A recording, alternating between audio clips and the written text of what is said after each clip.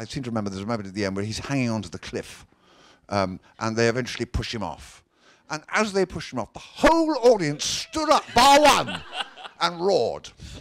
stood up and roared. And I thought he wasn't that bad. I was the only person sitting there watching them all, roaring with clapping. Uh, so hurtful. The uh, the voice that you found for Klaus von Bülow, I know was very important. I'm interested though in how fun it was to voice Scar in The Lion King, and did it scare your young son Max when he actually finally saw the film? Because he was about nine or ten when the film came out. He was, yeah. He was, yeah. Uh, was it a lot of fun to, to, to voice that character, and did it, did it freak Max out? Well, it was extraordinary. Uh, I mean, I'd never, I'd never made a, a voice for D- D- Disney before, and I was working in Stratford at the Shakespeare Company at the time when they asked, and, and, and I thought, oh well, I'm put on a voice to a cartoon. Oh, okay. And I went along expecting to see the finished film, and me having to sort of put lines into mouths that were moving in a certain way. Um, but it's not like that at all. You sit there with a script. They, they've got a storyboard around the room, so you sort of see the story that's going to happen, um, but very roughly painted. And uh, and then they give you the script, and you you know you try a bit of that, and then you play around with it, and you alter stuff, and you come up with stuff, and you suggest stuff. And meanwhile, there are people videoing you with a camera and and and drawing you. Um, you know, artists drawing you and, and, and all of this, and you're playing around, and then Two months later, you meet again, wherever you are, in Toronto or whatever, they'll come to you there. The whole team comes and they've got a little bit more worked out and they've played with the script a bit more and you put some other stuff on tape.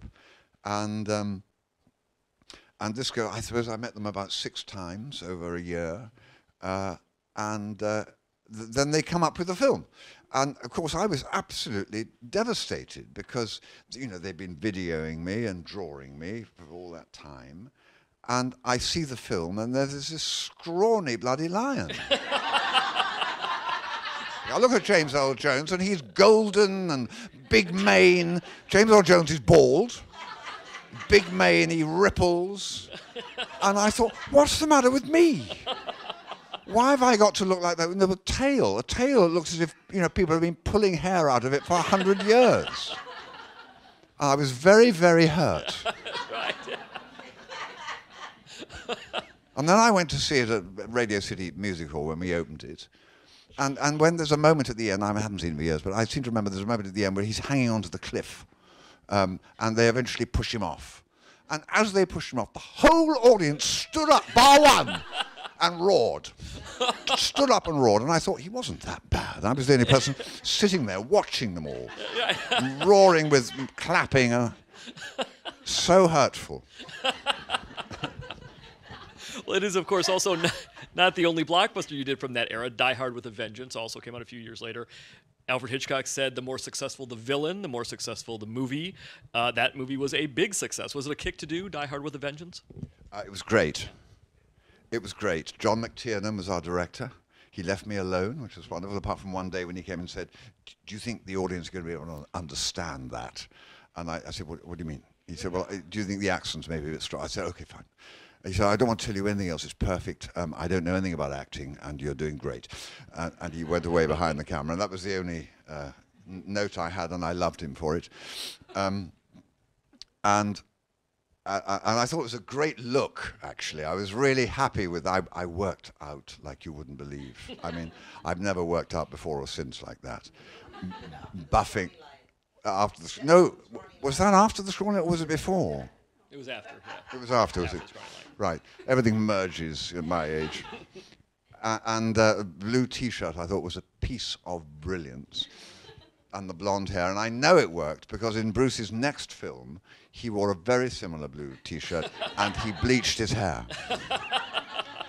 so, um, but it was a lot of fun to do.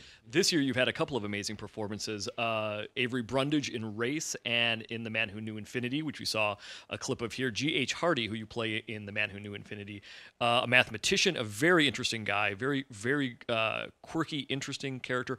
What, uh, what were some of the keys to you for him? The keys to him? Well, um,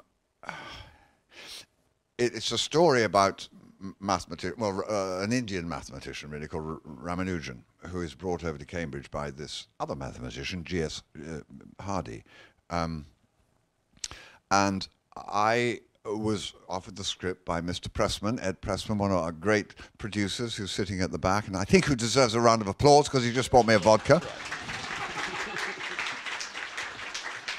Um, and, and Ed, who produced Reversal of Fortune, which had done well by me, and he uh, and I'd done well by him, um, sent me the script, and, and, and I read it, and uh, I, I knew nothing about it, and I thought it's always great when you find a story that is true and that you know nothing about, and about a subject you know nothing about, and a very strange relationship between an Indian genius, a young Indian mathematical genius, and a rather crusty, uh, middle-aged uh, Cambridge uh, mathematician of some note in 1913 and the way the relationship develops through their shared passion of mathematics. And I thought, well, that's very interesting. And Ed does take care of pictures. And he introduced me to his director, Matt Brown, who was very inexperienced, but who had enormous passion to make this. Um, and I warmed to him and to his passion, and, and so I thought I'd love to be part of that story. And um, Dev Patel uh, was cast as um, Ramanujan, and he's a lot of fun and can be more serious than in Mar- Marigold Ho- Hotel or uh, Slumdog Millionaire. Um, a lovely actor. And we shot in all the right locations. I mean, we shot in Cambridge. First time any film crew's been allowed into Cambridge because they were so proud of Hardy and Ramanujan. They wanted to tell that story and therefore let us in to do so. So it looks beautiful, and it's a it's an extraordinary story in that it's very, very emotional. It's a very simple film, rather old-fashioned film. Um, but it's somebody said to me last night, "Do you know this is a six handkerchief film?" oh, that's good. That's good. Or you, as you would say here, because you don't know the word handkerchief, tissue. six tissue film. It sounds like that was a surprise to you because it's a very cerebral movie, but it is very emotional. It's very yeah. intimate in so many ways, right?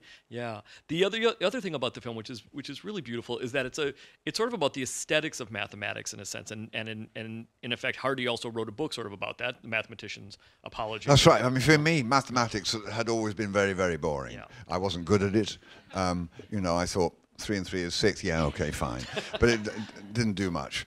Um, and then I read The Mathematician's Apology, which, if any of you have any interest in mathematics, read, because it's extraordinary. And you, you realize that pure mathematics is actually not far akin from poetry and from art and from that wonderful discovery of, of looking for how can I say, how can I say something as a poet would think? How can I say it simply? How, how can I say it so it makes sense?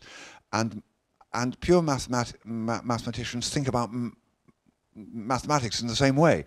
So it's just another language. It's like Italian, which I can't speak. Uh, I can't speak maths either. But if you can speak maths, then uh, uh, you know you're searching for ideas and and, and they, they feel those theorems and equations are out there in the ether and all they have to do is to discover them. And when I, when I found that attitude written by this man Hardy in his book. I thought, oh, I can play that. That's that's fine. I know about that sort of search, that sort of passion for one subject, um, and and it gave me the in to him. But it's it's a delightful film, I think.